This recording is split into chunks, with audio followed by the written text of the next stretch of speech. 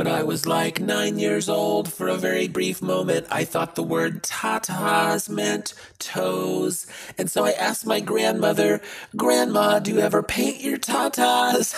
And she was like, What? And I was like, Do you ever paint your tatas?